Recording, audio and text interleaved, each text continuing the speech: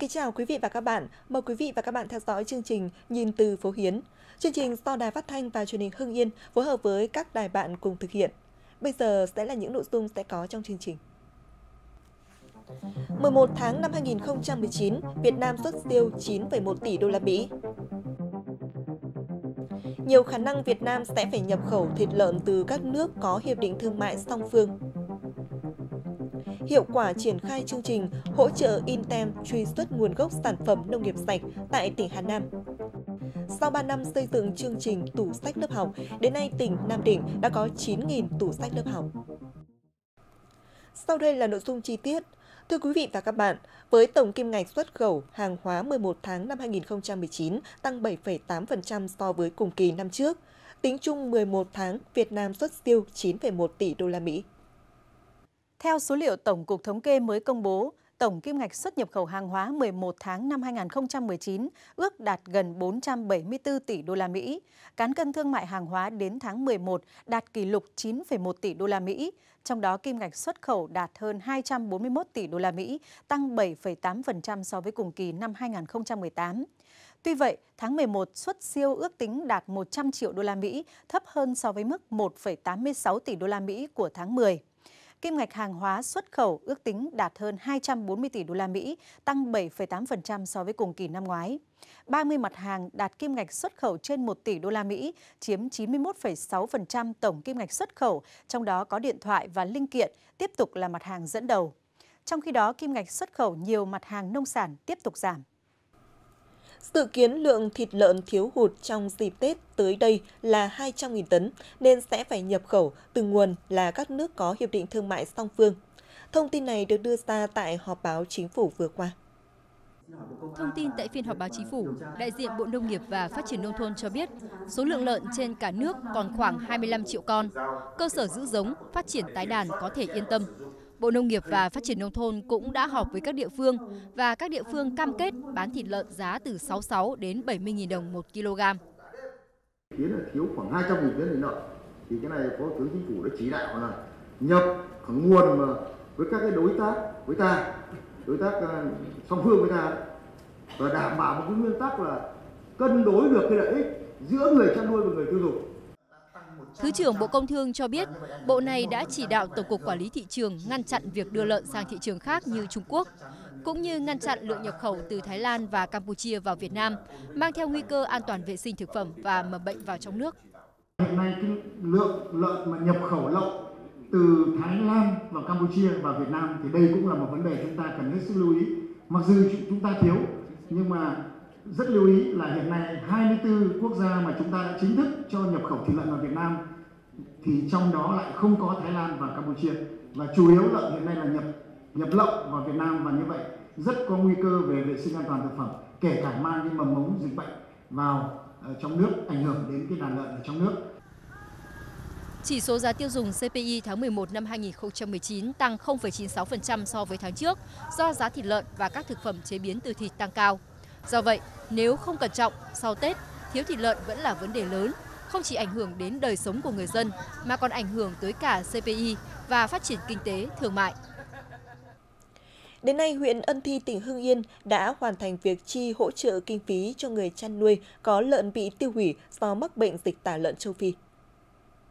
Địa phương cuối cùng công bố hết dịch tả lợn châu Phi trên địa bàn huyện là xã Hồ Tùng Mậu bệnh dịch tả lợn châu Phi đã phải tiêu hủy gần 25.500 con lợn các loại của trên 1.700 hộ dân với tổng trọng lượng tiêu hủy gần 1.620 tấn. Sau khi công bố hết dịch tả lợn châu Phi, huyện chỉ đạo Phòng Nông nghiệp Phát triển Nông thôn, trạm thú y huyện phối hợp cùng Ủy ban Nhân dân các xã thị trấn và các đơn vị liên quan tiếp tục theo dõi tình hình dịch bệnh, áp dụng các biện pháp phòng dịch theo quy định, đặc biệt tại khu vực ổ dịch cũ, các hố trôn xác lợn nhằm tránh dịch bệnh tái phát. Huyện Ân Thi khuyến cáo các hộ chăn nuôi tái đàn phải theo lộ trình từng bước, tránh tái đàn ồ ạt, yêu cầu cơ sở trang trại chăn nuôi khép kín, xa nơi ở khu dân cư, thực hiện tốt công tác vệ sinh tiêu độc khử trùng khu vực chăn nuôi và các vùng phụ cận, đồng thời khuyến khích các hộ tập trung chuyển đổi vật nuôi đáp ứng yêu cầu của thị trường, tiềm năng lợi thế của địa phương nhằm nâng cao hiệu quả trong phát triển nông nghiệp.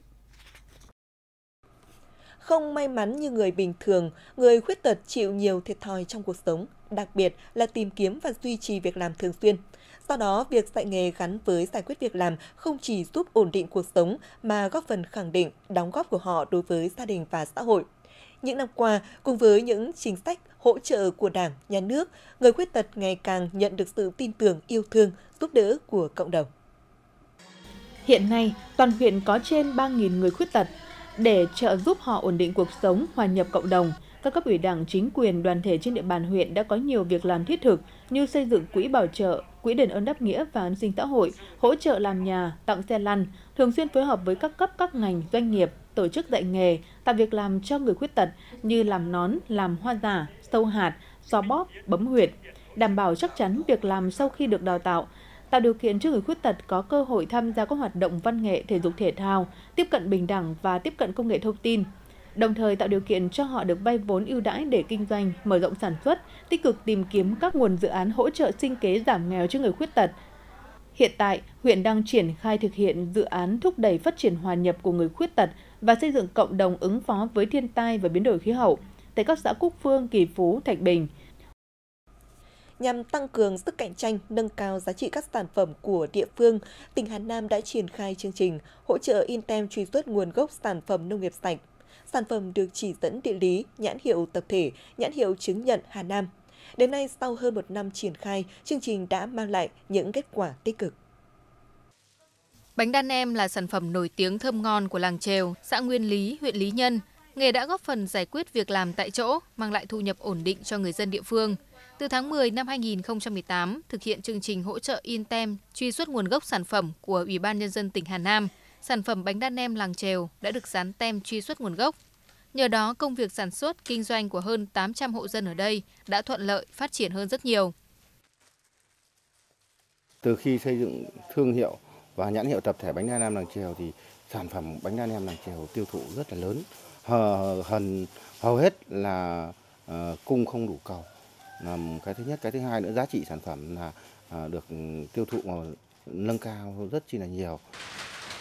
Trước đây, làng dệt lụa Nha Xá, xã Mộc Nam, huyện Duy Tiên gặp không ít khó khăn. Người dân trong làng đã phải rất vất vả để giữ nghề. Nhưng từ khi được công nhận nhãn hiệu tập thể và dán tem truy xuất nguồn gốc, những khó khăn của làng nghề đã được tháo gỡ, đặc biệt là vấn đề tiêu thụ sản phẩm. Hiện Nha Xá có gần 400 máy dệt, mỗi tháng xuất ra thị trường gần 100.000 mét lụa. Trong đó có những thị trường nổi tiếng khắt khe về chất lượng như Hàn Quốc, Nhật Bản, Pháp, Đức, Hà Lan,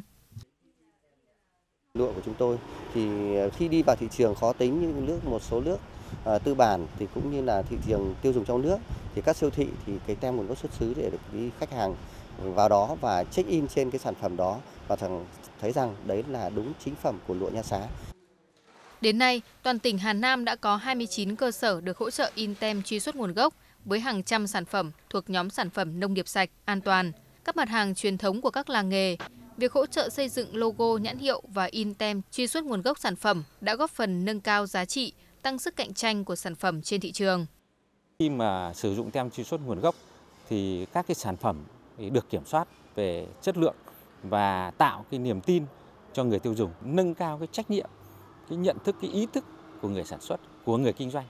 Thế và cả của cái người tiêu dùng, cái người sử dụng. Thế cho nên là nó trở thành một cái liên kết chuỗi hoàn thiện. Sở Khoa học và Công nghệ Hà Nam đang tiếp tục phối hợp với các sở ngành địa phương đẩy mạnh tuyên truyền, hướng dẫn cho các tổ chức cá nhân sản xuất về nội dung, điều kiện, tiêu chuẩn hỗ trợ dán tem truy xuất nguồn gốc, góp phần bảo vệ thương hiệu sản phẩm. Xin được chuyển sang những thông tin đáng chú ý khác. Mặc dù là một huyện thuần nông, nhưng hiện nay huyện Phù Cử, tỉnh Hưng Yên đã có gần 90% người dân tham gia bảo hiểm y tế. Trong đó, số đối tượng tham gia bảo hiểm y tế hộ gia đình là hơn 7.300 người. Để có được kết quả này, Bảo hiểm xã hội huyện Phù Cử đã tăng cường công tác tuyên truyền nhằm nâng cao nhận thức cho người dân về quyền lợi, vai trò ý nghĩa của bảo hiểm y tế trong hệ thống an sinh xã hội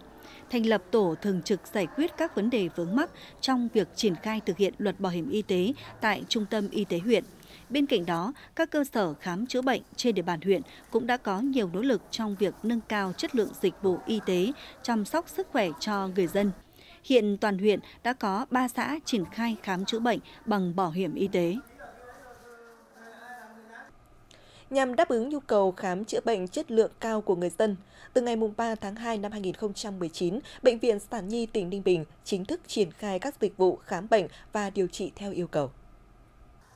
Khu khám bệnh và điều trị theo yêu cầu với các dịch vụ như đẻ theo yêu cầu tại khoa sản, khám và điều trị theo yêu cầu về nội nhi, ngoại nhi, tai mũi họng, sản phụ khoa, sàng lọc trước sinh và sau sinh do các bác sĩ có chuyên môn trình độ sau đại học trực tiếp khám và điều trị. Khu khám bệnh dịch vụ làm việc tất cả các ngày trong tuần, kể cả thứ Bảy và Chủ nhật. Các bệnh nhân khi tới đây sẽ được khám theo yêu cầu, điều trị phát thuốc và thông báo kết quả xét nghiệm nhanh chóng. Với mô hình này, bệnh viện có thể đưa đến cho người bệnh những dịch vụ chăm sóc sức khỏe tiện ích với cơ sở vật chất tiện nghi, hiện đại, góp phần đáp ứng được nhu cầu phục vụ bệnh nhân ngày càng cao.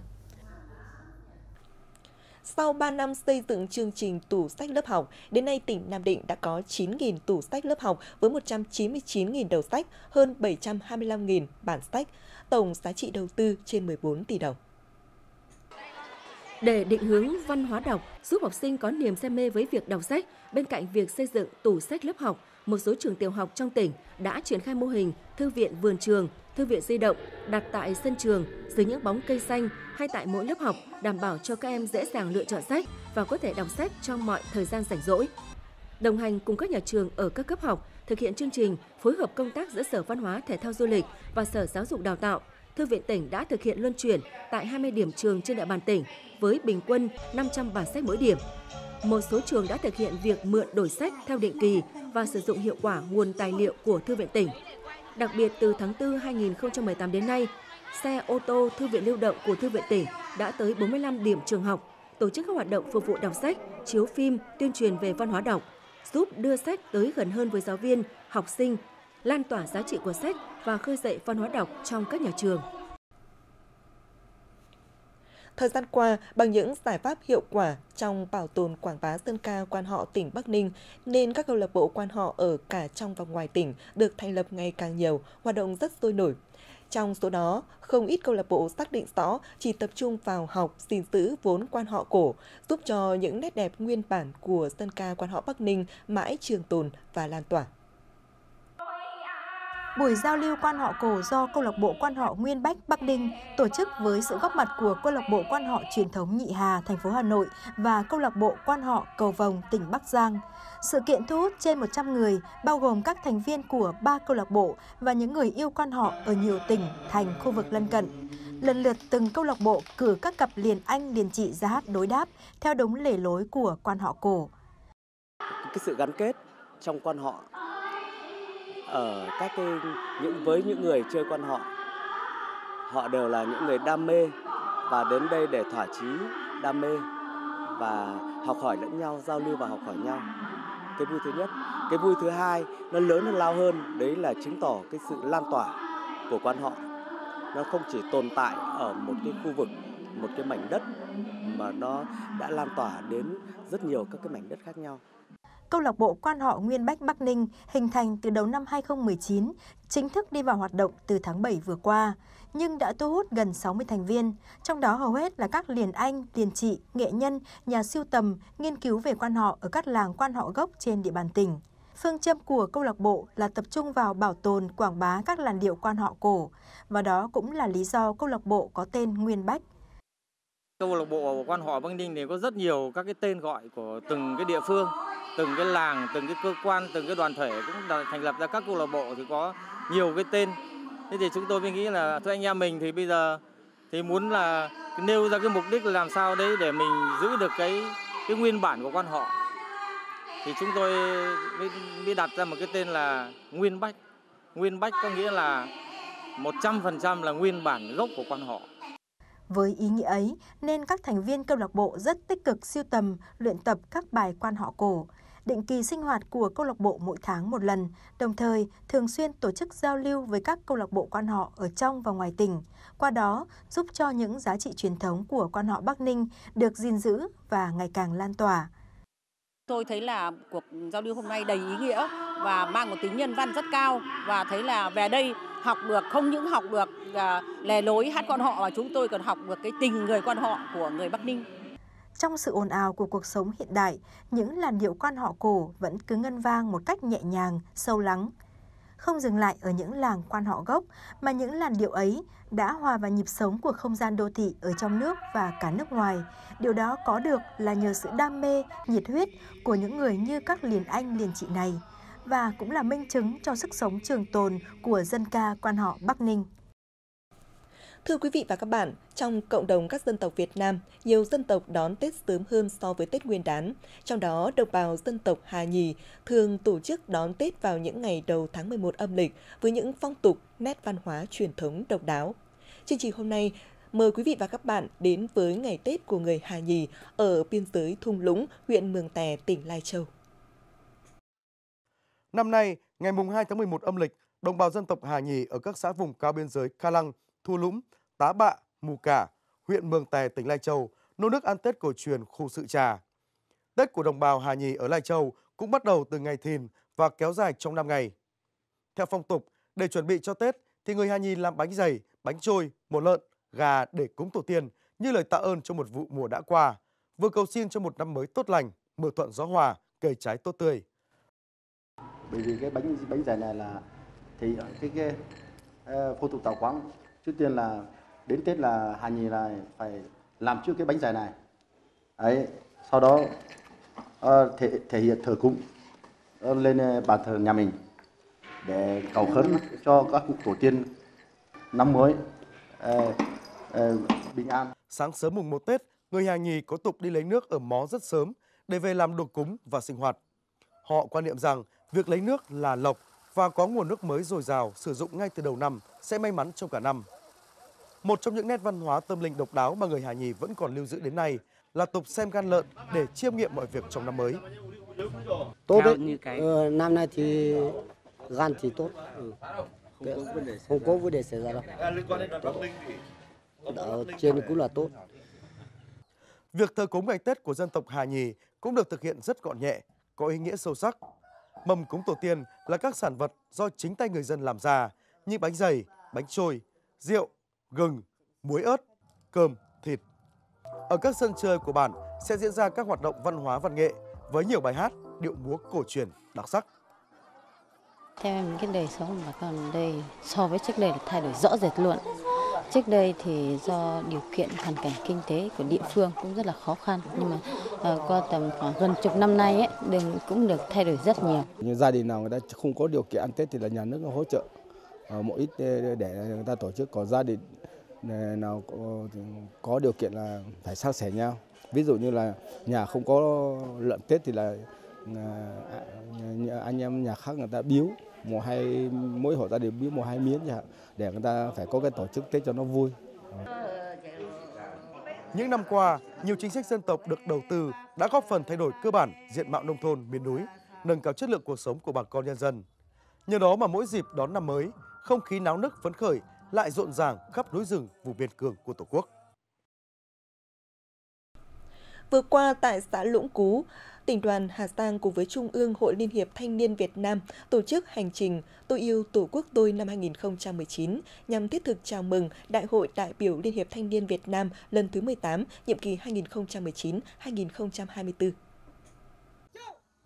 Tham gia hành trình có hơn 300 đại biểu và đoàn viên thanh niên tiêu biểu của các tỉnh cụm Đông Bắc Bộ. Các đại biểu đã cùng dự lễ chào cờ tại cột cờ quốc gia Lũng Cú. Tại đây, đại diện Trung ương Hội Liên hiệp Thanh niên Việt Nam đã truyền tải thông điệp hành trình Tôi yêu Tổ quốc tôi của thanh niên Hà Giang tới các đoàn viên thanh niên có mặt, đồng thời trao đuốc cho thanh niên thủ đô Hà Nội, thăm và tặng quà cho trạm công tác biên phòng Lũng Cú, tặng quà cho hộ nghèo và học sinh trong xã.